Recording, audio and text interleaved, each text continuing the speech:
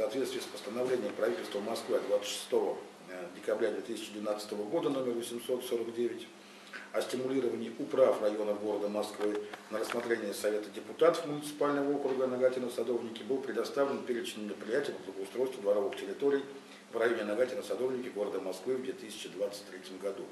Достаточно долго вчера проходила комиссия, я думаю, она проходила как раз плодотворно, очень было много вопросов задано и даны конкретные а, ответы разъяснительные. Но по результатам рассмотрения перечного мероприятия, Сергей Константинович, комиссии было принято решение подготовить письмо в управу а, на ваше имя а, с адресным перечнем проблемных адресов района, которые не вошли в адресный перечень благоустройства в 2023 году. И, может быть, ждать 2024 года было бы, наверное, может быть, проблематично, потому что они пришли в совершенно такое сложное состояние, негодное.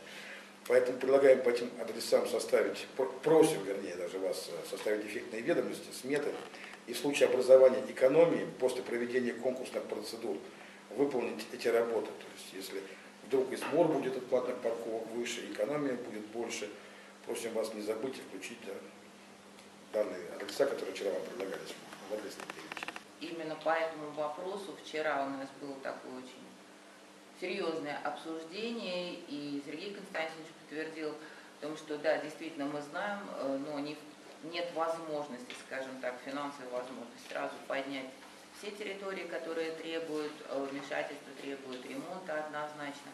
Ну и мы сошлись на том, что мы действительно предоставляем вам перечень тех проблемных территорий, которые нам обозначали наши жители, это разные территории, мы сейчас даже не будем их уже обозначать. Э, и надеемся, что у нас средства останутся.